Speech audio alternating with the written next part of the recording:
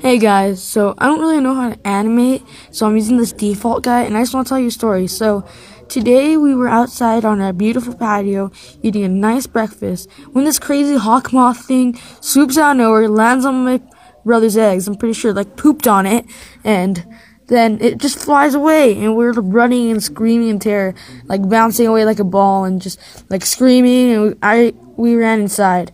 So, but today was Easter, so we got bubble wands in our baskets, and you know what?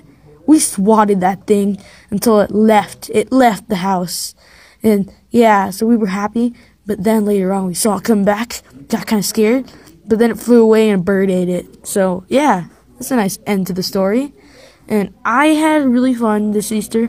Did an Easter egg hunt, got an awesome basket with some beef jerky, and yeah, cool. Thanks, YouTube. Bye. Like and subscribe.